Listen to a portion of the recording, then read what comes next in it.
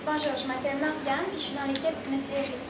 Quand je suis arrivée dans, euh, la classe Monsieur Eric pour la deuxième fois, en fait, j'avais très hâte, mais j'étais un peu stressée parce que je savais pas si ce serait comme l'année dernière. Mais, euh, ben, Monsieur Eric qui a fait son discours du début d'année, puis ça m'a redonné confiance. Puis euh, je trouve qu'on travaille vraiment bien tous ensemble. Fait que c'est vraiment cool. Bonjour, je m'appelle Laila, je suis en année.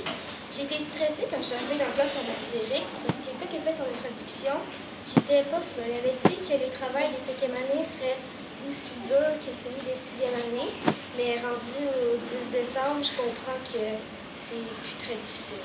C'est bien. Sauf qu'au cours de l'année, ça va toujours augmenter. Mais ça Bonjour, je m'appelle Lisa, je suis en septième année et j'aime beaucoup être dans la classe à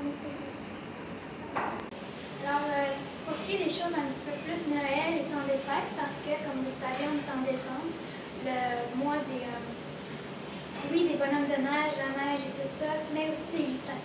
Alors, euh, les lutins, il y en a un dans chaque classe, euh, comme vous pouvez le voir, et il y en a aussi dans à peu près chaque maison. J'en ai un chez moi, Océane aussi, mais là, comment tu Non.